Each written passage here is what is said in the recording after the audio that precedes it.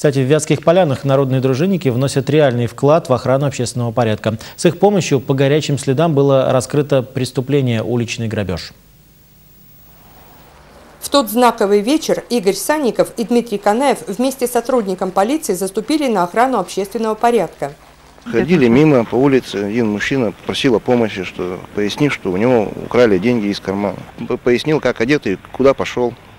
Очень скоро грабителя задержали, его ждет наказание, а смелый поступок добровольцев-дружинников был отмечен благодарностями областного руководства МВД.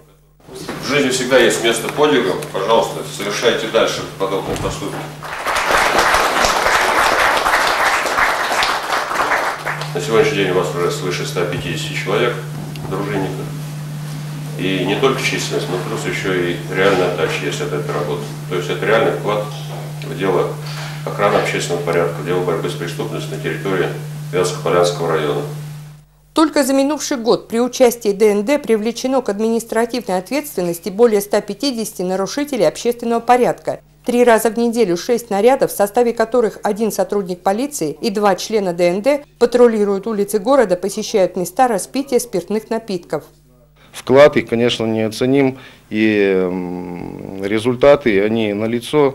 То есть при внесении э, службы совместно э, с членами ДНД э, проводятся и профилактические мероприятия, и непосредственно пресекаются правонарушения. На сегодня более 100 работников различных предприятий города Вятские Поляны помогают возрождать движение добровольных народных дружин, внося свою лепту в программу «Безопасный город».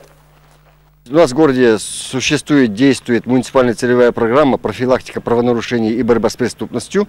И э, согласно этой программе выделяется на стимулирование деятельности добровольных народных дружин э, финансовые средства. Э, туда входит вот приобретение таких вот повязок, жилетов, сигнальных обозначений. Также и идет стимулирование деятельности дружинников. Я считаю, что участие членов добровольной народной дружины совместно с сотрудниками полиции в охране общественного порядка даст положительный эффект э, и дает, как мы уже видим. Людмила Агалакова, Андрей Третьяк, Вести, Кировская область.